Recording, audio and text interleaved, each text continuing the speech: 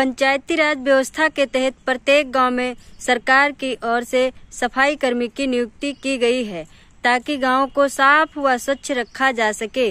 परंतु उत्तर प्रदेश के जनपद बाराबंकी के देवा ब्लॉक के ग्राम पंचायत उखड़ी के, उखड़ी गाँव में ऐसा देखने को नहीं मिल रहा था। यहाँ नालियाँ गंदगी से पटी थी। जल भराव था। कीड़े समुदाय के घरों में जा रहे थे। अपने समुदाय की इस समस्या पर मैंने एक वीडियो बनाया था। कचड़ा पड़ा हुआ है। हमारे छोटे छोटे बच्चे हैं। बीमारियाँ हो जाएँगे। हमारा अकेला आदमी कमाने वाला है। मैम, हम कैसे खर्चा चलाएँगे? कैसे बच्चों की दवाई करेंगे? इलाज करेंगे? क्या करेंगे? सब गंदगी से प्रदूषण फैल रहा है, मैम। कब से गंदी है नाली? ये लगभग हो गए दो तीन महीने से तो ऐसे ही कचरा पड़ा हुआ है। पानी बरसता है हमारे मोहरे में लग जाता है भर के। सब कीड़े घर के अंदर जाते हैं खाना खाते हैं हम लोग बच्चे खाते हैं सब कीड़े रेंग रेंग के जाते हैं मैम। ये भैया कीड़ा नहीं हुए जानवर लगी है ना जैसे मसा लागत है मसा न लगी है।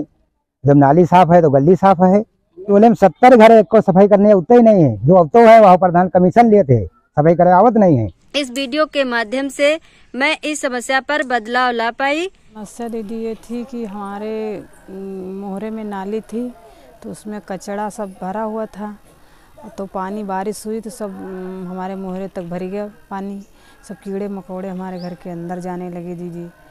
तो उससे गंदगी छोटे छोटे बच्चे खाना, पानी सब खाते तो गंदगी का प्रभाव सब फैलने लगा। बीमार हैं बच्चे हमारे। आप आई दीदी। मीटिंग किया मीटिंग करके वीडियो बनाया वीडियो बना के हमको दिखाया, दिखा करके फिर प्रधान को फ़ोन किया। प्रधान से कहा, फिर वो सफ़ाई करने वाले को फ़ोन किया। सफ़ाई करने वाले आए, सफ़ाई किए। अब कोई दिक्कत नहीं है, ना तो कचड़ा फंसा हुआ है, ना पानी भरा हुआ है, ना तो कीड़े मकोड़े हमारे घर जा रहे हैं। अब कोई दिक्कत नहीं है। नाली गंदी रहे, पानी ज़्यादा भरा रहा है तो कीड़ा मकोड़ा ज़्यादा हो जाता रहे तो आए सफ़ाई करनी जब आए, नहीं, एक महीना होगी ठीक। उसके बाद जब जब आप लोग हो तो कुछ देखे हो तो फिर प्रधान जी से कुछ बात को बात के हो तो प्रधान जी फिर जो फ़ोन करके बोला ही न हो उनका, फिर वो आए हैं, दूरों से सफ़ा करते हैं। तो उसे बहुत परेशानी रहा साफ़ हो गई है नाली। अब इतनी परेशानी तो है फिर नहीं। बहुत लोगों ने जितने टोला भरे गए सबका फ़ायदा हुआ, सबका पानी इधर हुआ है। भाई तालाब है, तालाब तो पानी है ही। अंधे कहूँ जायस रहा? साठ सत्तर घर।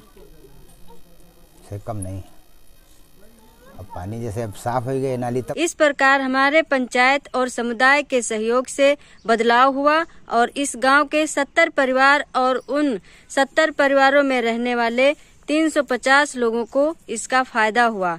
मैं चाहती हूँ कि मैं इसी प्रकार अपने समुदाय की समस्या को अपने कैमरे के माध्यम से उठाती रहूँ और उनकी समस्याओं पर बदलाव लाती रहूँ।